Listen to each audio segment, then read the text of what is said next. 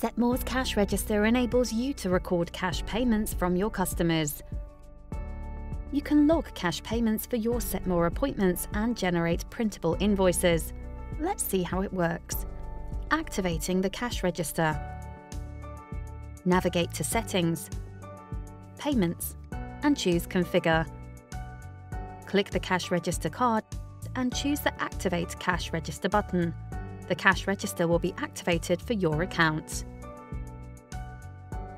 Logging a cash payment. To log a customer payment, go to the calendar and click an appointment. Choose Edit Appointment to continue. Next, click the Pay Now button at the bottom or the Payment tab at the top of the window. Verify the payment details, add discounts or taxes, and click the Charge Customer button to log the payment. You will receive a printable receipt for that appointment. This receipt will be saved in your payment history and can be retrieved anytime.